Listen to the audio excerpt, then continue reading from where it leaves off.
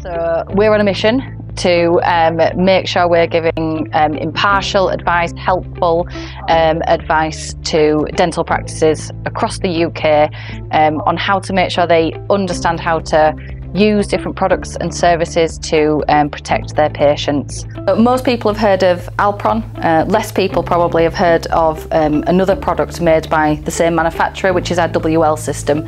Um, and this is a highly effective cleaning disinfection system manually applied um, for all handpieces to make sure that they're safe um, for onward processing. Handpiece is actually a really hot topic at the moment and specifically um, the decontamination and cleaning of handpieces is becoming um, more important as we learn more about the risks and the issues associated with it.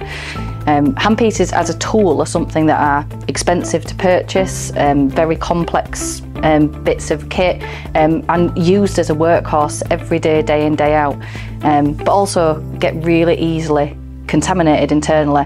Um, so quite important to make sure we understand how to effectively decontaminate, clean, disinfect and sterilise them to make them safe for use on the next patient we're really passionate about the um, support, advice, and guidance we can give to dental practices to help them with their dental unit waterline management, um, Alpron, and everything to do with decontamination and infection control. It's such a wide subject, so many places we can have pitfalls. So we're here to help and we're here to support. We've been um, giving uh, infection control and decontamination advice for um, a long time. The, the team here are trained to support dental practices, um, looking at the HTM 01-05 and new guidance that's coming out all of the time. Please give us a ring. If not, you can. There's loads of information on our website. Um, you'll often see us attending shows.